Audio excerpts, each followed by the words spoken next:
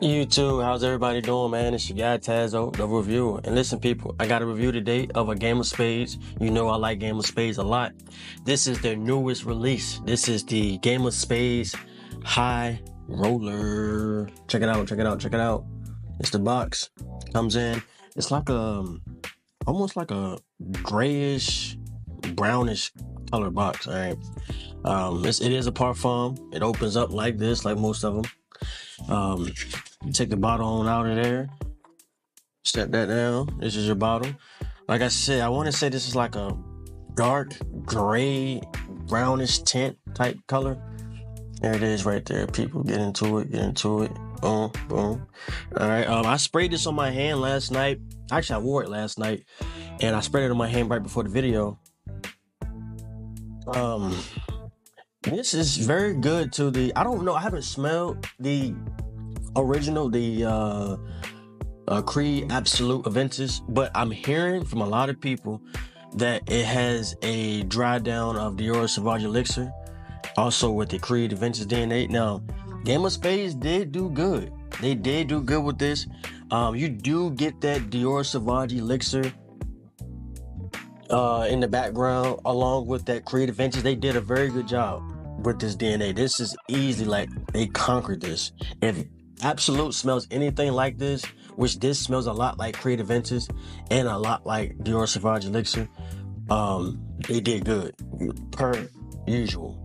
Um, with this, I pick up that pineapple, some citrus, which I'm hearing is from that grapefruit.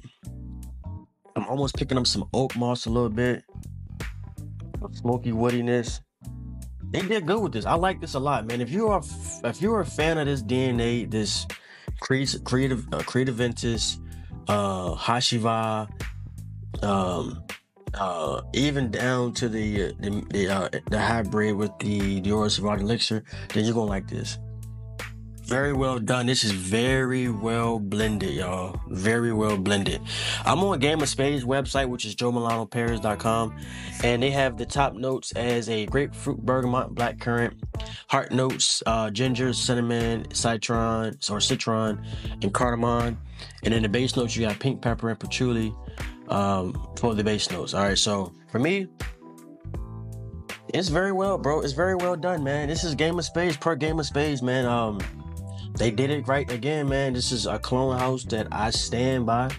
They work is great. Um, I have a lot of their Game of Spades. I've reviewed them. Y'all know I'm one of the first ones to actually review these Game of Spades, man. So, um, yeah, so check them out, man. This is a good one, man. This is a great release. If you don't want to spend the money for a um a um absolute retail price or even uh, um on the uh, black market, then bro, Game of Spades, I get you very close, bro. I haven't smelled the original, but I have smelled Creed Aventus and I have smelled uh, Dior Sauvage Elixir, which I do pick up that in this DNA. Very nice, man. Very, very nice. Um, I'm gonna wear it again to the gym. I'm about to head out to the gym. I'm gonna wear it again. Uh, I do want to say this, man. If you are having a hard time picking this up, I have a guy, Stelly. I know you're listening. Yes, I do have a guy who's selling these brand new in the box. He has uh he has a distribution deal or whatever the case with It's not my business, but I can get you these. Um, I'll pass along this information to you.